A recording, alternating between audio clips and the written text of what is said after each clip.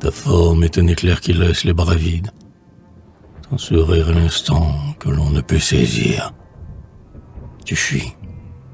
Lorsque l'appel de mes lèvres avides t'implore ô mon désir. Froide comme l'espoir, ta caresse cruelle, meurtrie sans assouvir.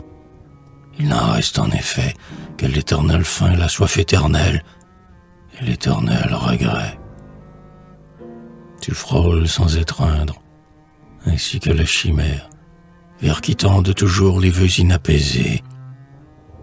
Rien ne vaut ce tourment ni cette extase amère de tes rares baisers.